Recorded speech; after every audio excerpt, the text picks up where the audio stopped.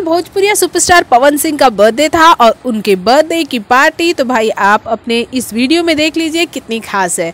हम आपको क्या नया बताने वाले हैं? भाई, पवन सिंह के बर्थडे में रितेश पांडे आए थे। अब आप ये कहेंगे, रितेश पांडे आ गए तो उसमें गलत क्या है? आजकल जो रितेश पांडे की नज़दीकियाँ हैं, पवन सिंह से बढ़ रही हैं तो दूरियों की खबर खेसारी लाल यादव से आ रही है। जी हाँ खेसारी ने उन्हीं का गाना गाया है। ऐसा रितेश पांडे का आरोप है खेसारी लाल यादव पर कि उन्होंने उनका गाना चुरा कर गा लिया है। अब वो गाना खेसारी का सबसे सुपरहिट गानों में से एक हो चुका है।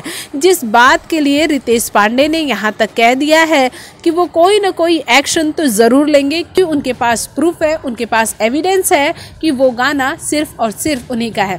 खैर, आगे हम बात आपको क्या बताने वाले बात ये बताने वाले हैं, क्या आपने नोटिस किया है कि ये बर्थडे हो रहा था अंधेरी में? यानी पवन सिंह के घर से कुछ ही दूरी पर। और पवन सिंह के इस बर्थडे में शामिल हुए रितेश पांडे। गुंजन सिंह और भी म्यूज़िक जगत के कई बड़ी हस्तियाँ, लेकिन नहीं शामिल हुए तो खेसारी लाल यादव।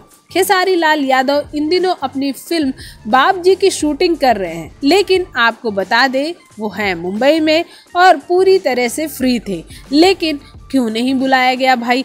अब आपको यहाँ ये बता दें कि जिस पार्टी में अगर रितेश पांडे हैं तो उस पार्टी में अब आपको खेसारी नहीं देखेंगे। और जिस पार्टी में खेसारी लाल यादव हैं तो उस पार्टी में अब आपको रितेश पांडे नहीं दिखेंगे। वैसे भी प्रदीप पांडे चिंटू के बाद रितेश पांडे दूसरे नंबर के दुश्मन हैं खेसारी लाल यादव के। जी हाँ खेसारी लाल यादव जिस गति से भोजपुरी इंडस्ट्री में अपनी जगह बनाते जा रहे हैं। उसे देखकर ये अंदाज़ा आप लगा सकते हैं कि उनके दुश्मनों की संख्या ज़्यादा ही होगी।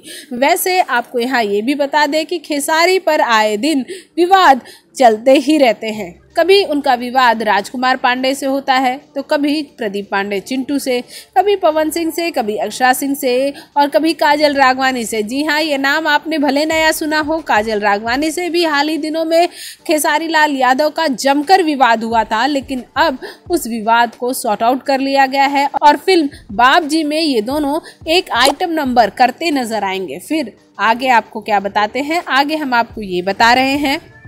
खेसारी लाल यादव के दो नए दुश्मन तैयार हो चुके हैं। पहले हैं प्रदीप पांडे चुंटू और दूसरे हैं रितेश पांडे। भाई, एक इंटरव्यू में तो खेसारी लाल यादव ने ये तक कह दिया था कि नए स्टारों की तो वो फ़िल्में भी नहीं देखते। भाई, जो भी हो। लेकिन यहाँ ये कहना गलत नहीं होगा कि खेसारी लाल यादव के लिए आगे आने वाले दिन हो सकता है मुश्किल में हो।